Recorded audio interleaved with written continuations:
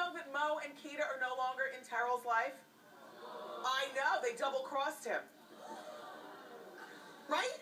They, they were shopping a reality show for the two of them, and they didn't tell him about it. And then he found out about it, and he went to them, and they were like, oh, hamana, hamana, hamana. We were going to make you the executive producer, right? Well, yeah, but I didn't really know that, you know, until. You're not friends with him anymore. No, I mean I'm doing my own thing, so um, I just gotta, you know, start over and, uh, you know, like that. Right, right now, my family is more important than, you know, than two And friends. he that, just you know- met he just met his son.